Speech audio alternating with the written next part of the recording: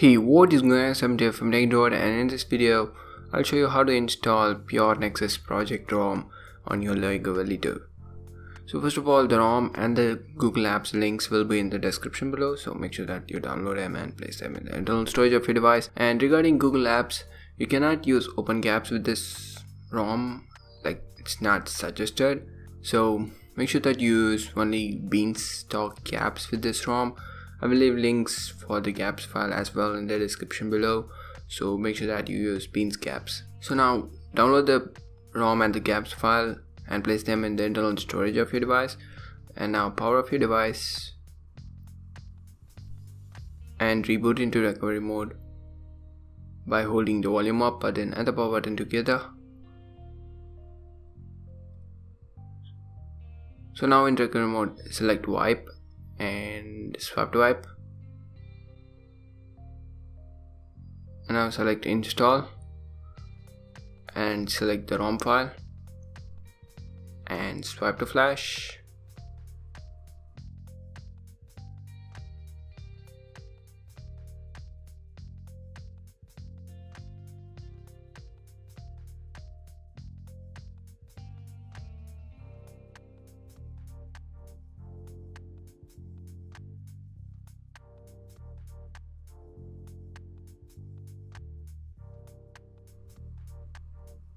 and now select the GApps file. And swipe to flash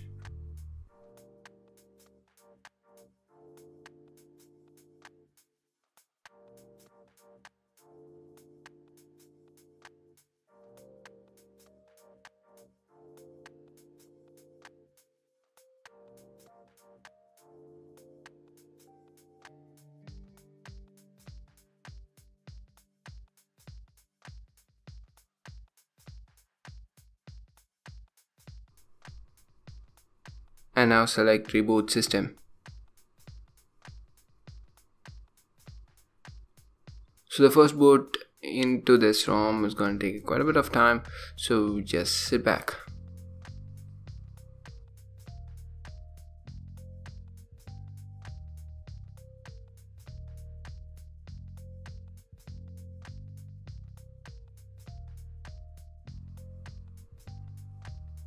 So now we have successfully booted into ROM. So if you don't know about Pure Nexus Project ROM, so it was started during the good old Nexus days. Yep, RIP Nexus. Nexus doesn't exist anymore. Well, but the whole idea of this ROM is to bring the Nexus experience to all devices. So ROM is actually based on AOSP CAF, so it is close to stock but it has very little tweaks just the basic ones which makes sense.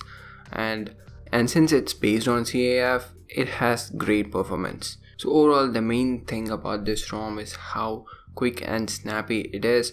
And it does have quite a bit of features like you can enable navigation bar and, and ROM has inbuilt support for OMS Substratum. So you can use Substratum themes and some more little tweaks like that. Regarding bugs, the ROM is actually close to stable. Of course, IR Blaster is not working just like with any other Nougat based ROM, but you can use the same workaround which we use on all Nougat based ROMs. Here's a card to the tutorial video, so check that out. Regarding camera, the camera is actually super stable, like it does not crash at all except for some certain scenarios which we will see in a bit. So one thing about the camera is when you look at it from the viewfinder. It looks crappy but when you take a when you actually take the photo and look at the actual photo it turns out to be good. So that's one thing to note. And and in video mode videos up to full hd works without any issues. But there is option to enable quad hd but when you enable quad hd the camera app crashes. So this is what i was talking about before. So apart from this scenario camera doesn't crash at all. So yeah that's it for this video guys. If you found this video useful go down and hit the like button because that means a lot to me. And for more videos hit the subscribe button and the bell icon right next to the subscribe button because more awesome videos are coming soon on the channel. And i'll see you guys later. See ya